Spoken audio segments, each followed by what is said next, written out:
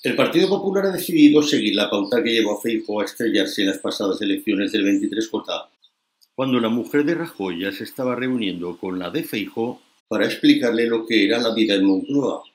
Ahora, con motivo de la política migratoria, Ana Alós, exalcaldesa de Huesca y vicesecretaria de Políticas Sociales del PP, ha sido la portavoz del mensaje que los Borja Maris quieren lanzar como estrategia. Nosotros estamos en el centro porque el PSOE es buenista y Vox es xenófobo. Acusar al partido de Abascal de xenófobo cuando los mensajes más radicales en este sentido vienen de las filas del propio Partido Popular, con dirigentes como Albiol, deja las claras la demagogia absoluta de los populares que vuelven al error de considerar a Vox como su principal enemigo.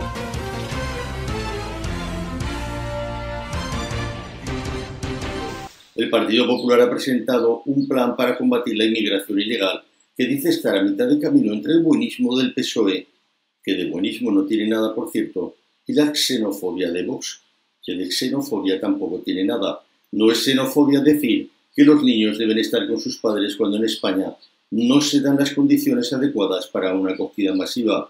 Vox está contra los que provocan de forma irresponsable y temeraria un efecto llamada masivo apoyado por organizaciones que colaboran subvencionadas con muchos millones con las mafias del tráfico de seres humanos, sin posibilidades de dar una respuesta digna a esa situación que ellos han creado y que se traduce en insostenibles conflictos sociales. Que el PP llame a esto buenismo ya es para que se lo haga mirar, pero el ataque desmedido a Vox, acusándole por la cara de ser un partido xenófobo, no tiene ningún sentido ni razón de ser. Salvo que Feijóo y sus Borja Maris hayan decidido tirarse por el barranco. Que vayan hacia el barranco creyendo lo contrario todavía es peor.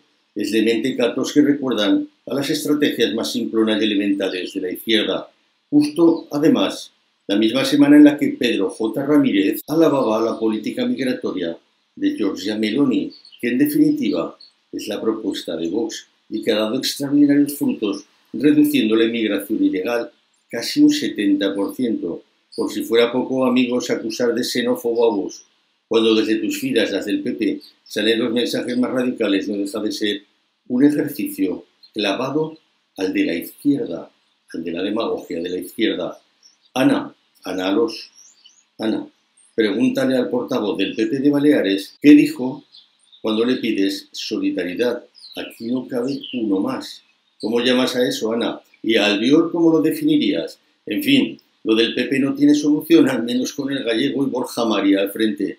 Atacar de esta forma Vox confirma que está decidido a tropezar de nuevo en la misma piedra, con el problema añadido para el PP de que en cuestión de meses el hartazo del espectro sociológico del centro derecha va a sufrir un punto de inflexión. Vox tendrá claramente más de lo que le están dando y al vice también.